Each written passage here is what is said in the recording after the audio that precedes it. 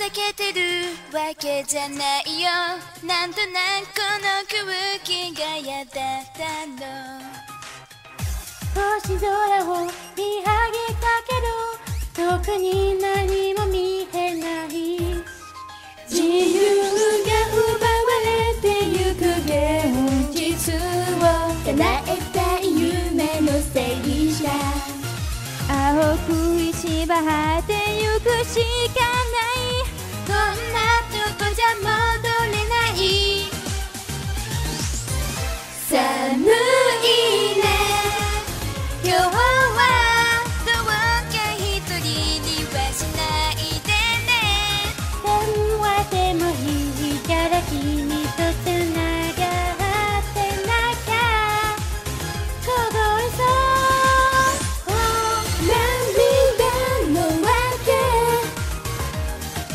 の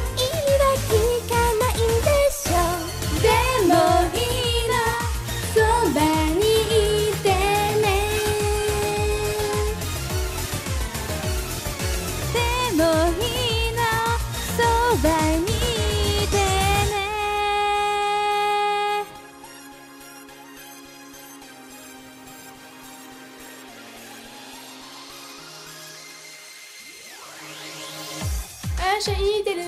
子供のように無邪気に振る舞ってみたけど。似合わない気がするのは私だけでしょうか。誰にも話さなかった秘密が本当は聞いてほしかったの。喉元まで込みが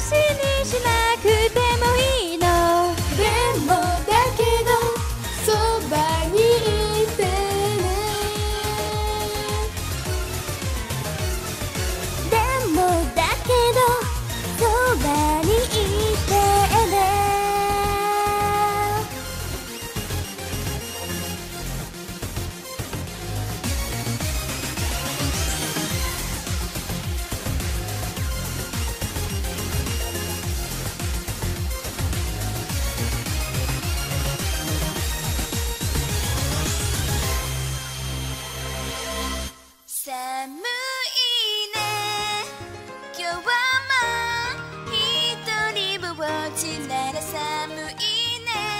早く迎えに来て私のこと安心させてよ。